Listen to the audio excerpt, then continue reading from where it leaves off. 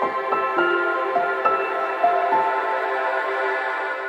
Guys, salut à tous, c'est Soli, j'espère que vous allez bien, bienvenue sur Livre Mon Addict, je suis ravie de vous retrouver aujourd'hui dans cette nouvelle vidéo pour faire le book haul du mois de décembre. Et vous allez voir, ça va être un petit book haul parce que j'ai qu'une dizaine de livres à vous présenter et je suis plutôt satisfaite de moi-même, je vous l'avoue, puisque sur cette petite dizaine de livres, il n'y en a que trois qui, euh, que j'ai acheté moi-même, le reste ce sont des cadeaux et j'ai trop hâte de vous montrer tout ça, donc euh, n'hésitez pas à laisser des petits commentaires sous cette vidéo, à mettre un petit like et si vous ne savez pas quoi commenter, bah écoutez, on peut partir simplement sur le pouce en l'air. Voilà, tout simplement le pouce en l'air ou la pile de livres parce que c'est généralement ça qu'on met pour les petits book hauls puisque on aime bien remplir nos pales. Hein. Voilà, on va pas se le mentir, euh, on va pas se le cacher. Donc l'un des deux, comme vous voulez, ou même les deux. On part du coup directement sur les livres que je me suis acheté personnellement. Gods of Men de Barbara Kloss qui est paru chez Rivka Édition. C'est un livre que je voulais depuis très longtemps, je crois que ça fait deux ans maintenant que je le ziote. À chaque fois qu'on est en librairie, je me dis il faut que je le prenne, il faut que je le prenne et à chaque fois je ne le prends pas. du coup là j'ai craqué, je crois que je l'ai acheté chez Grangier celui-ci. Euh, donc il n'était pas d'occasion malheureusement mais ça reste un très beau livre en toc toc. Je ne sais plus de quoi il s'agit exactement, je sais qu'il est question d'une héroïne qui doit jouer de la flûte, enfin il est question de magie et elle s'est sauvée parce qu'un jour en jouant de la flûte euh, elle a libéré un certain pouvoir qui a tué ses parents et sa sœur, un truc comme ça. On, va lire le résumé ensemble et puis euh, on, va voir tout ça. La magie est interdite dans les 5 provinces et ceux qui en sont doués depuis la naissance sont pourchassés et tués. Sable ignore que sa musique renferme un pouvoir, jusqu'au jour où, à peine âgée de 9 ans, elle arrête par accident le cœur de sa petite sœur avec sa flûte. Oui, donc j'étais pas très très très loin. Atterrée par ce qu'elle a fait et craignant pour sa propre vie, elle s'enfuit loin de la juridiction provinciale et trouve refuge dans les landes sauvages. Là, Sable se terre sous le poids de la culpabilité et survit en tant que guérisseuse, jusqu'à ce que, dix ans plus tard, quelqu'un ou quelque chose la retrouve et la traque sans merci. Je crois que c'est ma petite Ali qui les a lus, euh, en tout cas qui avait beaucoup aimé le premier tome, donc euh, j'ai hâte de voir ce qu'il a dans le ventre et franchement il me faisait plutôt bien envie. Je me rappelle l'avoir acheté à une époque euh, en e-book mais c'était sur ma vieille vieille liseuse. Euh, je crois que c'était sur ma vieille Kobo que j'ai dû laisser à mon père du coup. Enfin bref après il suffit que je fasse un transfert de fichiers c'est pas gênant mais euh, j'ai encore jamais lu ce livre qui vient de rejoindre ma palle du coup. Autre livre que j'ai acheté et que j'ai lu fin 2022 pendant les vacances de Noël. Je crois que c'était l'un des derniers livres que j'ai pu lire en 2022. J'avais déjà lu le premier tome et donc il s'agit de Guerre, le tome 2 de la saga Les 4 cavaliers de Laura Thalassa. Je vous avais déjà parlé de Pestilence, donc le premier tome de cette série en 4 tomes, où en fait les 4 cavaliers de l'apocalypse descendent sur Terre et donc à chaque tome on va suivre un des cavaliers. Le premier tome Pestilence qui répand la peste, le deuxième Guerre qui bah, du coup répand la guerre qui mène des guerriers au combat. Euh, le tome 3 c'est sur Famine et le tome 4 c'est Mort. Euh, il me tarde d'acheter les tomes 3 et 4 puisque c'est Camille, donc Madame Errance, qui les a lus et qui les a surkiffés. Je crois qu'elle les a quasiment enchaînés en cette fin d'année 2022 et euh, voilà, et ça va être... Euh, j'en ai, beaucoup parlé avec elle. Euh, j'ai hâte de, de, découvrir son avis hein, sur les tomes 3 et 4, notamment sur le tome 4 parce qu'elle m'a dit qu'elle avait vraiment surkiffé le dernier tome. je vous avoue moi avoir un peu moins aimé Guerre par rapport à Pestilence. C'est beaucoup plus sanglant, c'est beaucoup plus barbare presque, bien que Pestilence soit pas forcément évident à lire non plus. J'ai plus aimé Pestilence parce qu'il y a un côté un peu plus... Euh, un peu plus alors pas poétique mais les émotions qui ont été transmises par l'autrice m'ont davantage touchée que euh, pour Guerre qui est vraiment beaucoup plus sanguinolent pour le coup, c'est ce que je vous disais. Après ici dans cette histoire on va rencontrer euh, Myriam, si je ne dis pas de bêtises, c'est ça. Myriam, on est à Jérusalem et euh, bah, sa cité va être attaquée par Guerre et ses sbires. Elle va être faite prisonnière sauf que ben, quand elle va rejoindre plus ou moins Guerre parce qu'elle a pas trop trop le choix, elle va essayer quand même de se rebeller mais lui va la considérer comme étant sa femme et on a une romance qui va un petit peu démarrer entre les deux personnages, sachant que pour Myriam il est hors de question de tomber amoureuse d'un homme pareil, euh, et surtout qu'elle est extrêmement alors traumatisée certes, mais euh, écœurée par en fait tout ce qu'il incarne et, euh, et et par tous ces êtres humains en fait qui se regroupent pour euh, finalement survivre et se mettre à son service à lui.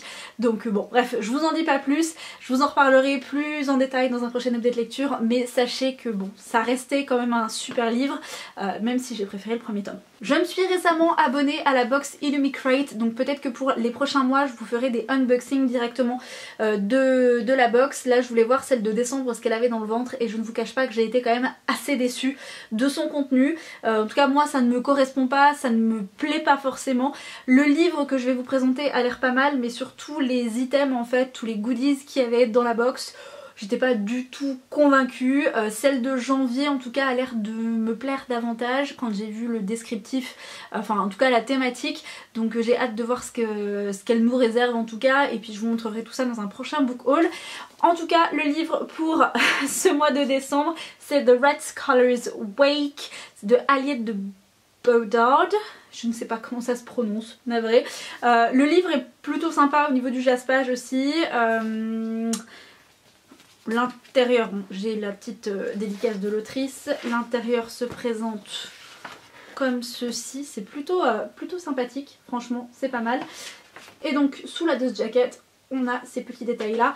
Euh, il y a un côté un petit peu, ça se passe dans le dans la galaxie, il me semble, il y a un côté euh, presque un peu Star Wars. Au niveau du résumé, tout ce que je peux vous dire, c'est qu'on a un FF, une romance qui va débuter entre deux protagonistes féminines. D'un côté, on a la capitaine d'un bateau pirate galactique et de l'autre, on a une jeune mère qui, je crois, a d'ailleurs perdu sa fille il me semble, voilà, euh, quelque chose comme ça. Euh, en tout cas, elle est maman, tout ce que je peux vous dire. Et cette femme est capturée par la capitaine du navire pirate. Et en fait, euh, elle a très peur de subir de la torture parce que ces pirates ne sont pas réputés pour être des, âmes très sensibles et sympathiques. Sauf que il s'avère qu'elle est une analyste, une analyste ça se dit, elle, a un rôle qui peut être très important sur euh, le bateau pirate et euh, voilà, elle va de, je crois qu'elle se retrouve à devoir épouser euh, la capitaine du navire pour pouvoir, enfin il y a une espèce, je pourrais pas trop vous en parler plus que ça en fait finalement parce que j'ai vu plein de résumés différents. Nos deux protagonistes vont être amenés à passer un pacte, vont devoir se marier et vont tenter de renverser une situation politique. Je crois qu'il y a un truc comme ça, hein, voilà. Euh, c'est ça, elles vont tenter d'essayer d'arrêter une guerre contre les pirates. En gros c'est ça, c'est l'idée. Donc c'est un space opéra avec une jolie petite romance FF. Euh, il me tarde de savoir euh, vraiment de voir ce que ça va donner. Je suis pas sûre de le lire là dans les prochaines semaines. mais bon pourquoi pas, pourquoi pas. Je suis pas convaincue à 100% mais pourquoi pas. Et enfin le dernier livre que je vous présente que j'ai acheté c'est cette chose. Euh, je vous en ai parlé sur Instagram. Si vous avez suivi les vlogmas de Kimi Collection, vous l'avez vu également parce qu'on était ensemble quand on l'a acheté. Euh, c'est le grand maître de la cultivation démoniaque, c'est de Moxian Tong Je sais pas comment ça se dit. Euh, c'est paru chez Bookmark dans la collection MXM, donc c'est un format euh, Tok Tok, euh, hardback, qui est très beau, il est absolument magnifique. L'objet livre en lui-même est splendide parce que déjà vous avez des fan art à l'intérieur. vous avez donc le récit avec à chaque en tête de chapitre des jolies petites illustrations également. Et dans le chapitre, vous avez des illustrations.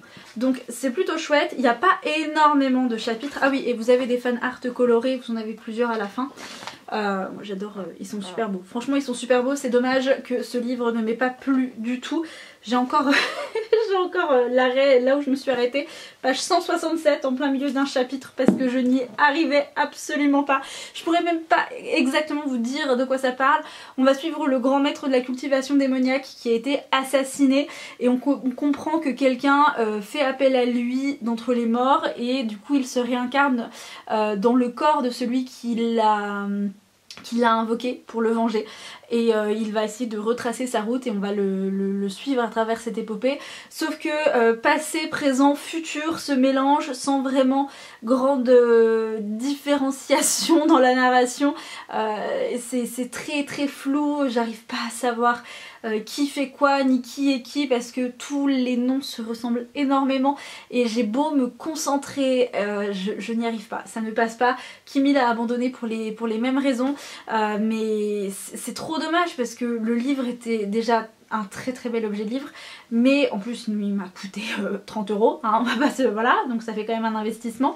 Mais voilà après je, je, ça suit pas en termes de narration donc bon celui-ci, je vous en reparlerai peut-être un petit peu plus tard. En attendant, mon édition, euh, je la vends à Nina. Donc euh, ma petite Nina, si tu passes par là que tu regardes cette vidéo, promis, d'ici à ce qu'elle soit publiée, tu auras reçu cet exemplaire. Euh, et j'espère vraiment que ce livre te plaira. Si jamais vous êtes quand même intrigué par cette histoire, sachez que le livre est quand même disponible en format broché chez MXM, enfin chez Bookmark dans la collection MXM. On continue avec ma petite Kimi qui m'a offert Sortiarius euh, de Buddy Lee. Euh, c'est le premier tome, c'est un livre en fait qui était dans ma wishlist depuis un petit moment. Il me semble qu'elle elle l'a lu mais qu'elle a jamais euh, continué vraiment cette saga alors que le premier tome lui avait plutôt plu finalement. il me semble qu'il est question d'une jeune fille qui découvre que sa mère a été tuée par balle, donc elle tente de lui porter secours, sauf qu'elle se fait tirer dessus à son tour par un chasseur. Elle finit dans le coma, mais quand elle se réveille, eh ben, elle va aller vivre chez sa grand-mère qui habite un petit peu, il me semble, dans la forêt, euh, histoire de faire son deuil. Sauf que sa grand-mère va commencer à avoir un comportement de plus en plus étrange. Euh, les voisins vont avoir un comportement de plus en plus étrange et il est question plus ou moins de loups qui rôderaient également dans la forêt. Je ne peux pas vous en dire plus parce que je n'en sais pas plus, mais voilà, s'il est question de métamorphes et de loups-garous, vous savez que ça peut absolument me plaire euh, et, j'ai hâte de découvrir cette histoire sachant que euh, c'est quand même écrit très très gros et on a quand même des, marges au niveau des pages qui sont pas négligeables non plus donc euh, je pense que ça doit se lire très très vite.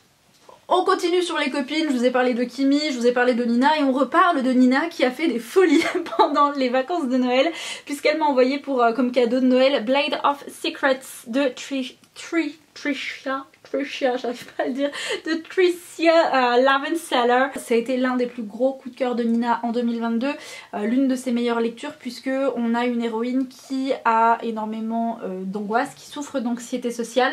Et euh, moi ça m'intrigue beaucoup, c'est une forgeronne qui réussit à forger des épées magiques et donc de plus en plus de personnes malveillantes, mal intentionnées vont vouloir s'intéresser à son travail et vont vouloir faire en sorte qu'elle leur vende ses instruments, sauf qu'elle elle ne veut pas parce qu'elle ne veut pas que ses armes euh, soient utilisées dans ce but là et elle va partir. Alors je sais plus pourquoi. Elle part plus ou moins avec euh, sa, petite sœur qui elle n'est pas atteinte d'anxiété sociale. Et euh, avec un homme il va y avoir une relation amoureuse entre ce mec et notre héroïne. Et, voilà. Il paraît que c'est super bien fait que c'est trop mignon que c'est trop doudou. Et oh j'avais pas vu. Regarder sous la dust jacket. Donc voilà. Il paraît que c'est une, une, histoire romantique très chouette euh, avec une romance forcément je pense qui est un petit peu slow burn au vu euh, du profil de la protagoniste principale et, euh, j'ai hâte de, voir ce que ça va donner. C'est une duologie, le tome 2 est déjà sorti en VO et de ce que Nina avait l'air d'en dire, il y a ce serait bien effectivement qu'il y ait une traduction française parce que paraît que ce livre est quand même bien meilleur que La Reine des Ombres que je n'ai pas encore lu et finalement je ne sais pas si je le lirai un jour. Ça y est. Ok, si ça ressonne juste derrière, c'est mon mec qui m'appelle, mais euh, je pourquoi il m'appellerait, il est en cours. On continue sur la lancée des cadeaux de Noël et cette fois-ci avec Harry Potter. Mon monsieur a fait des folies. Je suis mais subjuguée par ces livres-là. Euh, j'ai déjà énormément d'éditions en fait de Harry Potter. Euh, si on compte les éditions euh, illustrées par Jim Kay, les Minelima, les Gallimard en grand format, les Bloomsbury pour les éditions VO. Bref, je commence vraiment à les cumuler et ça commence à faire beaucoup. Mais je suis ravie d'avoir d'avoir eu ces ces, petites merveilles pour Noël. J'en ai pas d'autres pour l'instant dans cette collection donc il va falloir que euh, je mette la main au porte-monnaie et que, que je me la fasse quoi parce que parce qu'ils sont trop beaux et puis, euh, et puis Ah, j'aime trop, j'aime trop. il a également fait d'autres folies puisque euh, j'ai craqué pour Tempête du Sud de Brittany C. Cherry, donc le premier tome de la, série, de la, série, de la série euh, Compass Series. C'est paru en français chez Hugo Roman. Euh, Brittany C. Cherry, c'est une autrice que je connais. j'ai lu... Ah, c'est pas London and Shay, c'est celui d'avant, Eleanor Park. Non, c'est pas Eleanor Park, c'est Eleanor and Gray. Eleanor and Park, c'est un autre livre. Bravo Solène. Euh, donc, Tempête du Sud de cette même autrice. Euh, j'en ai entendu beaucoup, beaucoup, beaucoup de bien en 2022. Je sais que la série est terminée et euh, j'ai hâte de voir bah, de quoi il retourne dans cette saga. Donc, je, ne pourrais même pas vous dire de quoi ça parle. Mais en tout cas, ça faisait un moment que je les yeutais. On était en librairie et du coup, bah, encore petit cadeau du monsieur. De même, oh, sans faire tomber d'autres livres. De même, j'ai craqué pour Sander, le deuxième tome de la saga Les Dieux du Campus de Phoenix Asher et de F.D. Estier. Euh, c'est un livre que j'ai lu, c'était ma dernière lecture de l'année 2022. J'étais pas forcément dans le bon mood pour le lire, je vous en reparlerai dans un update lecture, mais euh, finalement je me suis accrochée et c'est pas un coup de cœur parce que je pense que j'étais pas dans le bon mood pour le lire, mais euh, il est vraiment très bon. Quand avec le recul, je me dis quoi, il est vachement cool. il est question d'homosexualité sur un campus universitaire avec deux protagonistes qui sont chacun dans des équipes de sport universitaire. Euh, donc on en a un qui est très doué pour le hockey, l'autre qui est plutôt dans le football américain. Et donc c'est très controversé euh, l'homosexualité, notamment euh, dans le sport. et, du coup c'est comment on découvre cette sa sexualité, comment elle évolue et cette romance entre ces deux protagonistes masculins puisqu'il s'agit ici d'un MM et, c'était très beau et voilà je vous en reparlerai plus tard mais si vous voulez commencer une bonne romance avec un campus universitaire et les questions de sport et compagnie, Les Dieux du Campus est plutôt pas mal et notamment euh, ce tome 2 mais euh, il paraît que le tome 4 est vachement cool donc il faudrait que j'achète la suite maintenant. Et enfin le dernier livre qui va venir conclure ce book haul qui finalement est interminable c'est Nevernight de Jack Christophe le tome 3 euh, que j'ai acheté en... enfin que mon chéri m'a acheté en format broché chez De Saxus puisque vous savez que j'avais raté les formats Toc Toc qui sont quand même magnifiques. Mais voilà, les brochets sont plutôt cool aussi. J'ai très peur à la lecture de ce tome 3 parce que euh, en fait je sens que ça va prendre un tournant qui va forcément me plaire. J'ai plus ou moins eu confirmation d'une amie qui, euh, elle, a préféré le laisser tomber euh, pour ne pas être déçue parce qu'elle avait vraiment aimé le tome 2 comme moi et euh, elle avait bien apprécié le premier tome aussi. Mais voilà, je, je sais pas trop dans quoi Jay Christophe il va nous, il va nous embarquer pour cette, cette fin de trilogie. Mais pour autant, j'aimerais beaucoup la terminer en 2022 histoire de dire ça y est, cette saga, elle est lue, elle est complète et je peux passer à autre chose et lire d'autres romans de cet auteur. J'en ai terminé avec cette vidéo, j'espère qu'elle vous aura plu. N'hésitez pas à me dire dans les commentaires s'il y a des livres que je vous ai présentés aujourd'hui qui vous intéressent ou si vous les avez lus ou simplement en fait si vous avez été gâté à Noël ou si vous êtes fait plaisir vous-même en ce mois de décembre d'un point de vue achat littéraire. Euh, voilà, c'est à peu près tout. Je vais pas vous embêter plus longtemps. Je souhaite à tous et à toutes de passer de très belles et bonnes lectures. Je vous dis à la prochaine sur la chaîne et comme d'habitude, prenez soin de vous. Ciao